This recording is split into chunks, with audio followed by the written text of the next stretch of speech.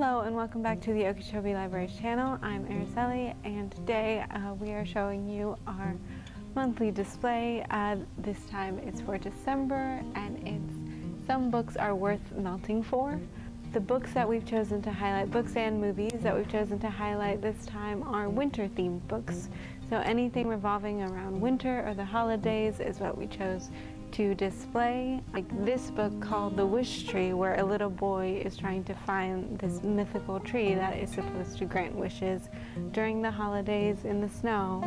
And then you might recognize this book called Trapped by Michael Northrop from last season. We, it was one of the books that we gave in our Christmas exchange about high schoolers who get trapped in their high school during a blizzard and what happens in that. So that was another one from last Christmas, so it's going to be included in our winter themed books.